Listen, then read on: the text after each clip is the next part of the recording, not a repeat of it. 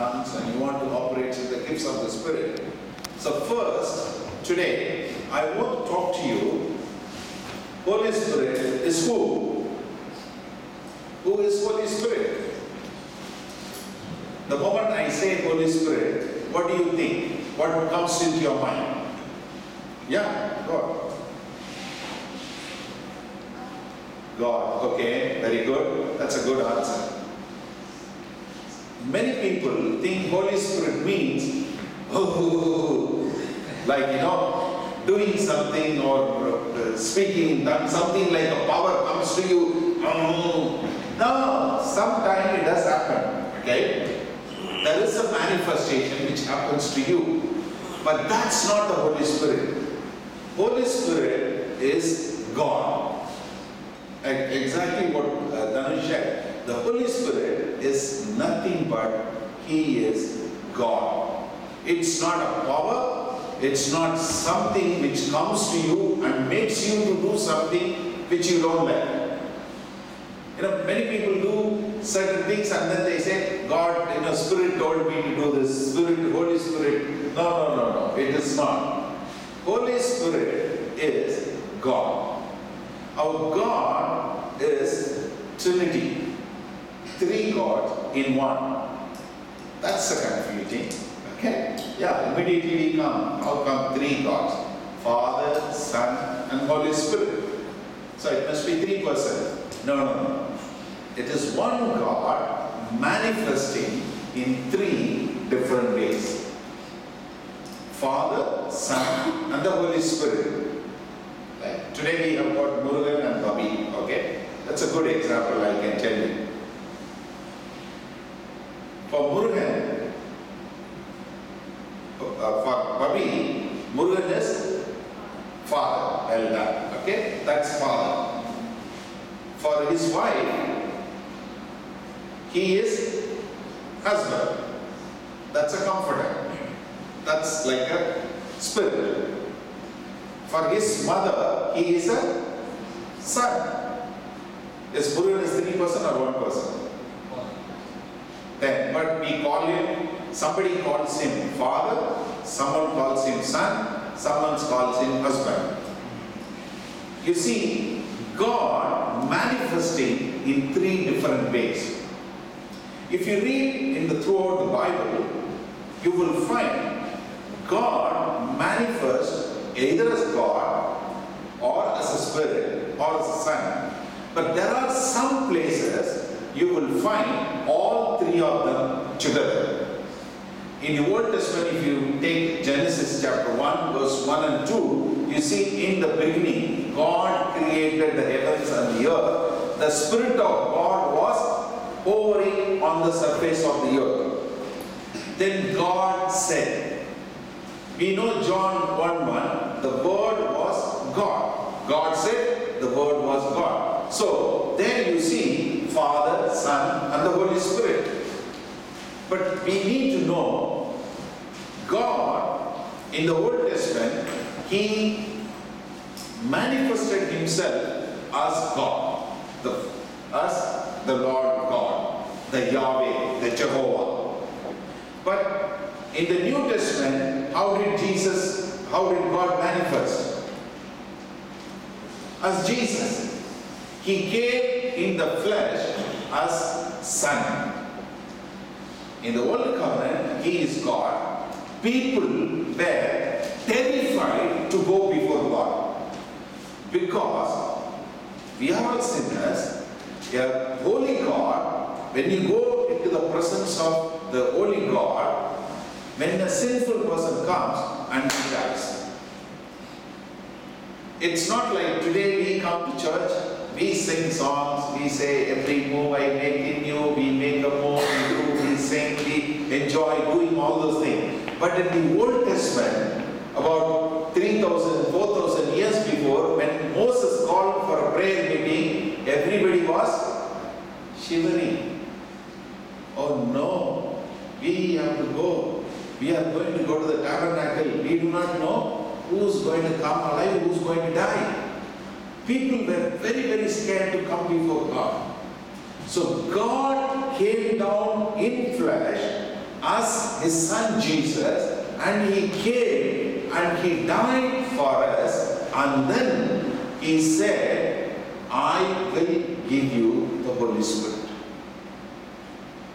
Uh, turn with me to John chapter 14. Every one of you open your Bibles. I want you all to read together. We will read together. John 14, verse 15, 16, 17, and 18. John 14. John chapter 14, verses 15 to 18. This is, as you turn, I will tell you, this is Jesus before going to the cross, before he is going to die, he is uh, saying this to his disciples. This is what is going to happen. Okay? Shall we read it together? John 14, 15, 16, 17, 18. Let's read. If you love me, keep my commandments, and I will pray the Father, and he will give you another helper, that he may abide with you forever. The Spirit of truth, whom the world cannot receive, because it neither sees him nor knows him. But you know him, for he dwells with you and will be in you. I will not leave you orphans, I will come to you. Amen. Jesus is saying, if you love me and if you keep my commandments, I will pray to the Father and he will give you the Holy Spirit. He didn't say, I will give you power. In Acts chapter 1, verse 8, it says, When you receive the Holy Spirit, you shall receive power. But what you are receiving is a person. What you are receiving is a person. The word it says, I will give you a comforter or helper. You know, I pray that He will give you another comforter. That's how the English has been translated. In the Greek, it is called allos parakletos. Allos means someone like the same nature, the same abilities, the same qualities. Everything will be the same. Allos means what? Everything will be same. So Jesus is saying, I am not going to be here with you physically. Like how you see me physically here, you are not going to see me physically, and I am going to go, I'm going to die, and I'm going to go to my Father. But my Father is going to give you somebody almost like me. He's the same. He is going to give you the comforter, parakletos. In Greek, parakletos has got seven meanings.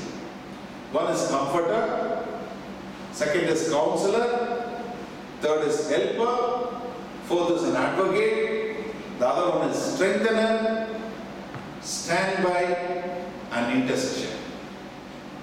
Seven meanings. Okay, say it with me. Comforter. Come on, I can speak so loud to you. So many of you are there. You can't speak even my match my voice.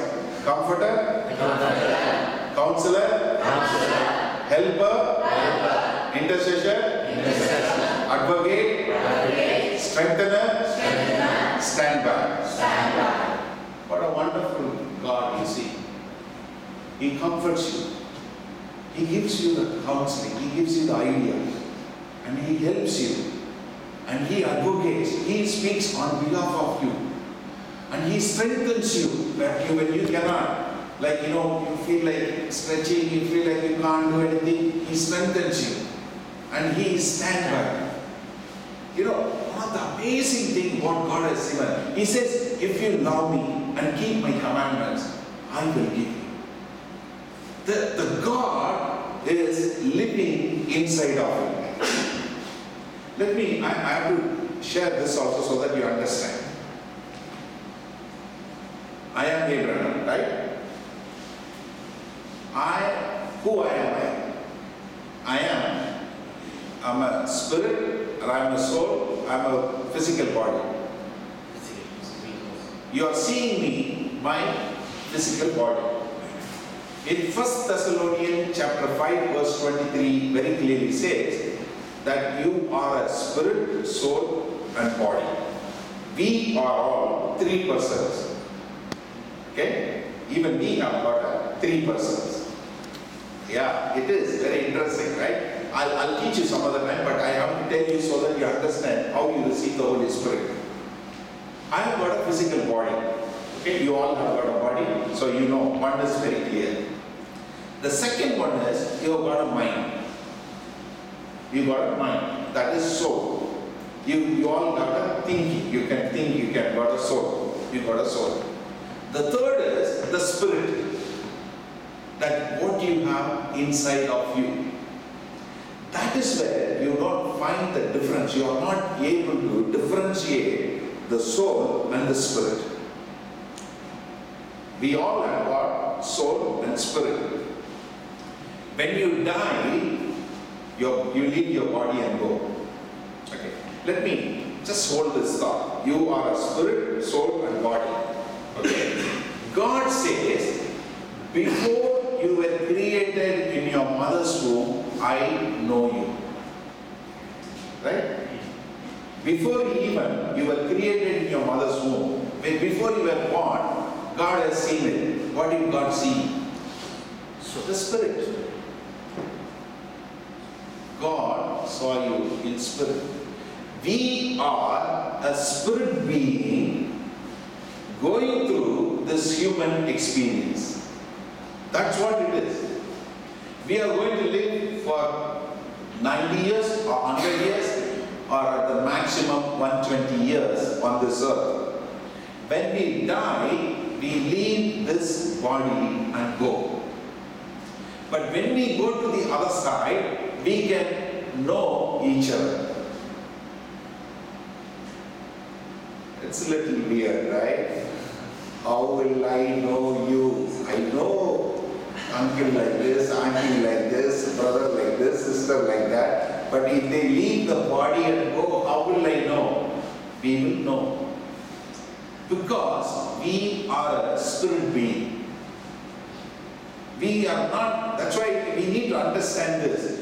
Because when the Holy Spirit comes to you, the Holy Spirit not comes to you primarily on your bodies, it comes to you on your spirit.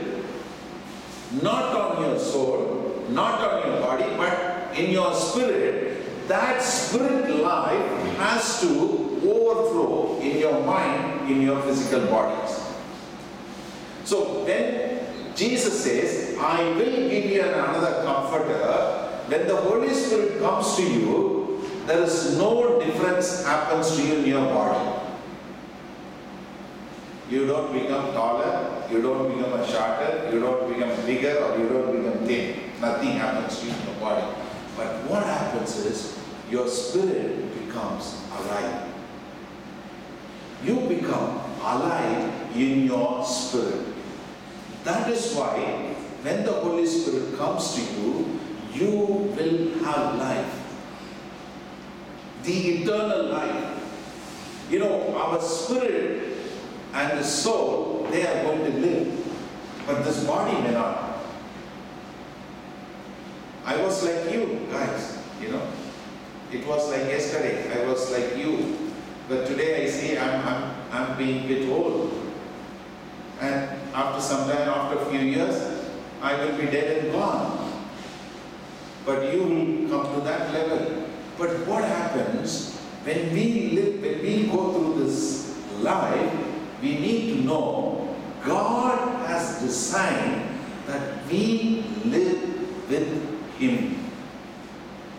Because it says, you see the verse 16, I'll give you another helper that He, that He means who? Holy Spirit.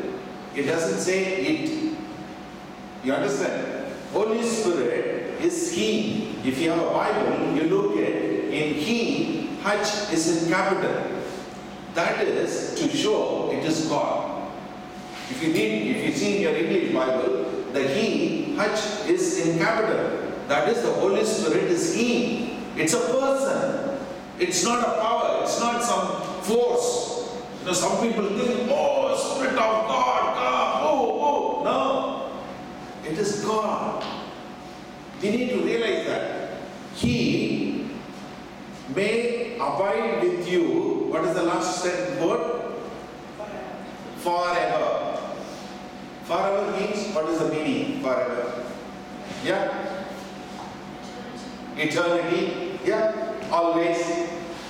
So, you mean to say, when you come and stand here and sing three songs, Oh Spirit of God, move in me, then only the Spirit moves, and then after you go out, you play and then run around, that Spirit of God goes for a walk. No. What the- that's what you guys need to realize that the Spirit of God comes and He lives with you forever, for eternity He will live with you. In Ephesians chapter 1 verse 7 says that's a deposit what God has given you for the inheritance to come. So what happens? The Holy Spirit comes to you and the Holy Spirit lives with you forever irrespective of how many days you are going to live, how long you are going to live on this earth, or beyond the earth, the Holy Spirit will always live with you. Hallelujah. So when the God comes to you, people think, oh, I made a small mistake. What happens? Is the God leaves you and go? No. He lives with you forever. He lives with you forever. That's what the Holy Spirit is. He is not taking a, last week you had a half term. Okay, today is the last day of your half term. So you didn't go to school or you didn't go to your college. Does that mean Holy Spirit also has half term? No. No holiday. Every day, 24 7, 365 days. It, for eternity, the God is going to live with you. Because this, you need to realize, in the Old Testament, when people wanted to go to God, they were scared. And also, in the Old Testament, when you want to be with God, you have to go to the temple to be with God. Here, what happens? God comes to you. God comes to you and He lives inside of you. So you become the temple of the living God. Hallelujah. So you become the temple of the living God, and God comes and lives inside of you. You don't have to go to the church, you don't have to go to some building, you don't have to do anything to be with God. So immediately you will think, Praise the Lord, why should I come to church? because God lives inside of me, I don't have to come to church. We come to church to learn more about Him, to encourage one another, and have fellowship with one another. That is why the church is. So when you go through some difficulty, someone else will come along and say, Don't worry, I will pray for you. And other person says, Come, let's all sit, let's all do something together. Let us help somebody, let us have fellowship together. That is why we come to church. We don't come to church only to be, we come here to worship Him, we come here to learn more about Him, but you are the temple of the living God. When the Holy Spirit comes to you, you become the temple. So God lives inside of you. You know, the same chapter, you see verse 20. Uh, 25, you see, these things I have spoken to you, you being present with you. But the Helper, the Holy Spirit, whom the Father will send in my name, he will teach you all things and bring you to remembrance all things I have said to you. Ah, verse 23. Look at verse 23 first, then before we go in there. Jesus answered and said to him, If anyone loves me, he will keep my word, and my Father will love him, and we will come to him and make our home with him. See, if you love God, what Jesus is saying, okay, guys, I'm going to die, you don't see me. But if you love me and keep my commandments, my Father will will love you, and we will, who? Father, Son, and the Holy Spirit. We will come, and we will come to you, and we will make our home in you. God wants to come and live inside of each and every one of us. So the Holy Spirit is none other than God Himself is coming. It's, it's Holy Spirit is God coming and living inside of you. So please, you know, you need to get this very clear. If you don't get this, then what happens? You will think, you will look at, you will go to somewhere and you will see somebody is speaking in tongues. So you will also think if the Holy Spirit comes, I will also have to jump. Or somewhere you will go, when the Holy Spirit comes, they will be rolling over the floor. So you will think immediately, I have to roll over the floor. No, it is not. May, some people may react a different way. It is God coming on to you. Don't think I'm making fun of any one of them. But what I'm trying to tell you is, He is God. And the Holy Spirit is a gentle spirit. He's a gentle God. What is the difference between the Holy Spirit coming and the evil spirit coming? Because you need to understand, the Holy Spirit is a gentleman. He will tell you to do something and it is your responsibility to do or not to do. But the evil spirit force you to do something which you don't like.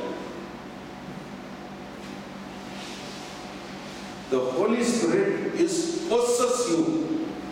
People will go on, on, you know, all kinds of things. Have you seen? Yeah, they do all kinds of funny stuff. But the Holy Spirit is God. It's a Holy Spirit. Holy.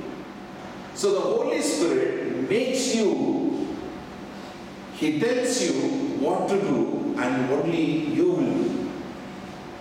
It's very rarely you will find the Holy Spirit forces you to do something.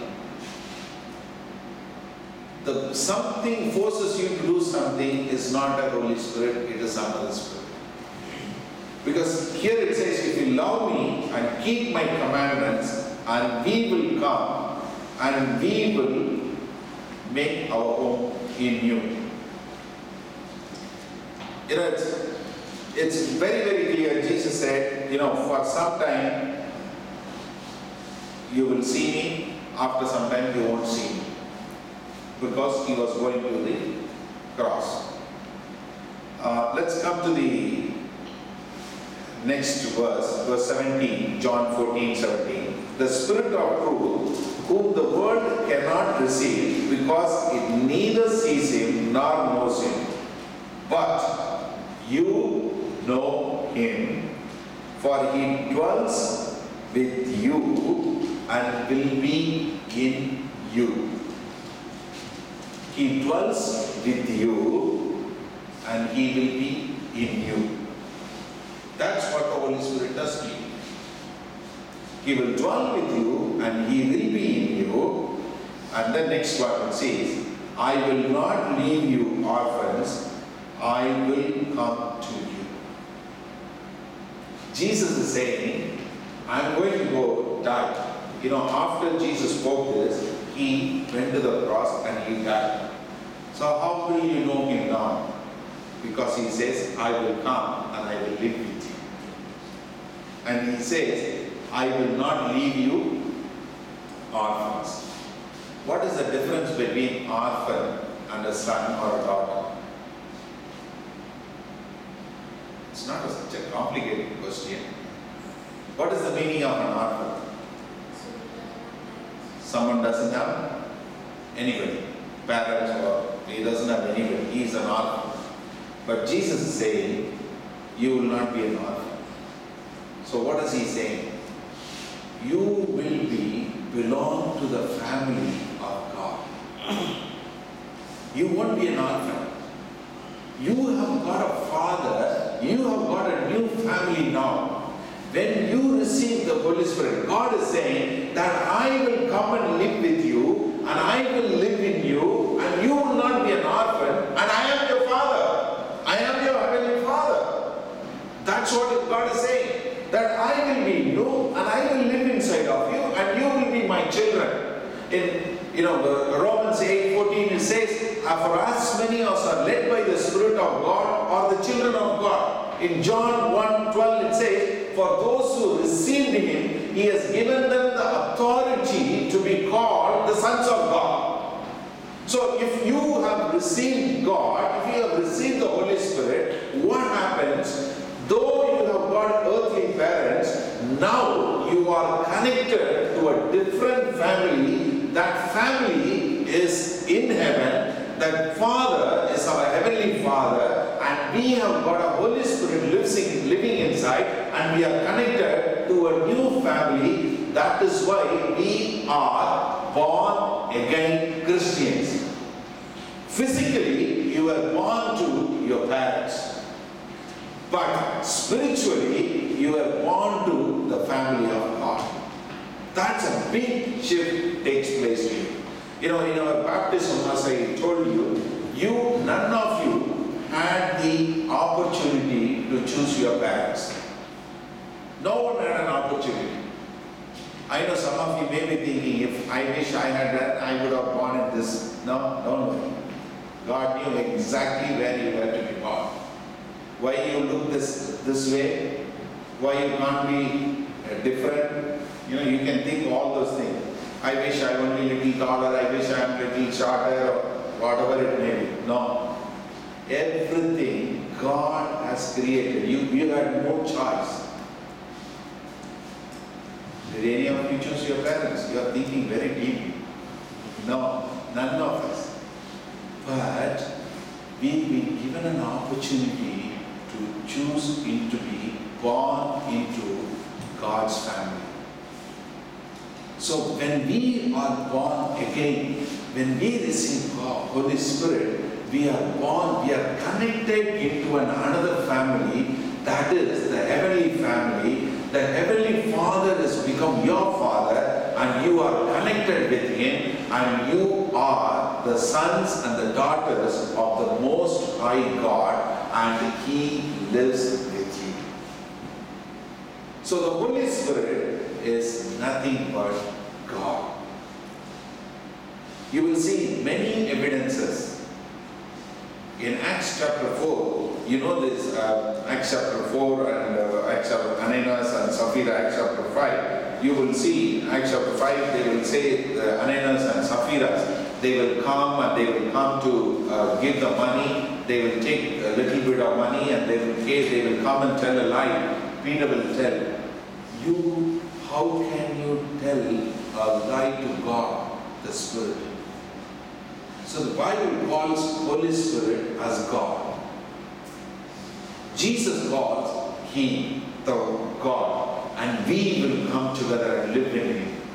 So, first and foremost, before you understand the gifts of the Holy Spirit, I know some of you are so excited. I want to speak in tongues, I want to heal people, I want to deliver people, I want to do this. It's all good, yes, but you need to know it is not a magical word. You know, it's not like a Harry Potter movie, immediately something happens. No, it is God. He is God. Holy Spirit is God. It's not something we, you know, immediately think, oh, no, not like that. It is God. Uh, take your Bibles, come to Luke chapter 11, and we will read one verse, Luke 11, verse 13, and we will pray, finish with prayer. Come. Luke 11, verse 13. Luke chapter 11, verse 13. Shall we read it together?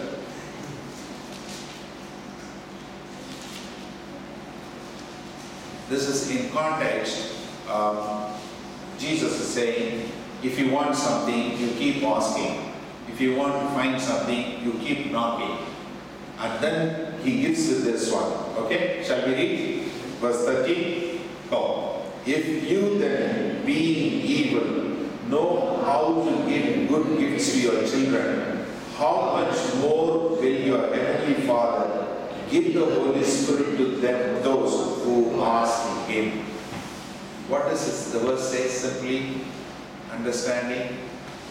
If anyone wants to have the Holy Spirit, if he asks, if he asks, he will give. If he asks, he will receive. All you need to say is, God, I need the Holy Spirit.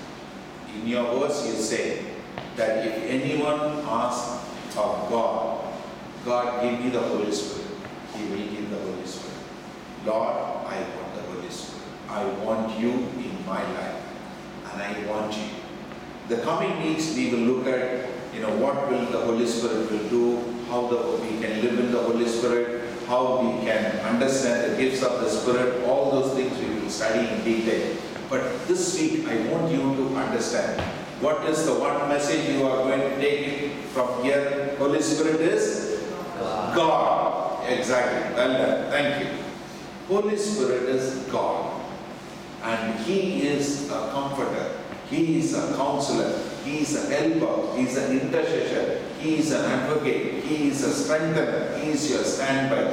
All the things, whatever you need in your life, and God living in you.